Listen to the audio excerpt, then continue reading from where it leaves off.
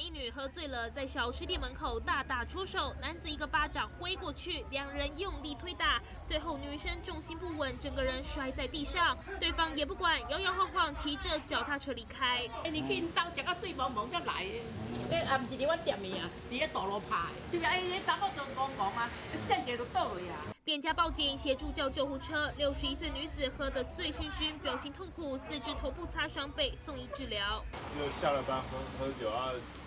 就闹事啊，乱吵啊这样子啊。啊，两个都好朋友，十多年朋友啊。两个人是老朋友了，经常到台中东区这间小吃店喝酒聊天。但三号傍晚五点多，疑似因为要不要送通啊爆发口角冲突，不止扇巴掌，还把人推倒在地。我们现场显示哦，女子的伤势并不明显，那但是因为她坚持就医，那我们这个部分也会在王女的笔录制作完之后，那依她的所提出的相关罪嫌呢，我们来依法就办。几杯黄汤下肚就可以六亲不认，店家帮忙劝架也没用。现在事情闹上警局，挨打的女子扬言提告，但男子趁乱逃跑，还没到案说明，友谊的小船彻底破裂。记者陈冠李云杰台中报道。经常这晚上啦睡不着觉啦，您很想要睡的时候身心放松啦，就会很需要这一瓶哦茶氨酸来调节情绪，同时还可以增强您的抗压能力。现在下定的话，记得打上我的这个折扣码 C T I 七一七，若鱼帮你来打折。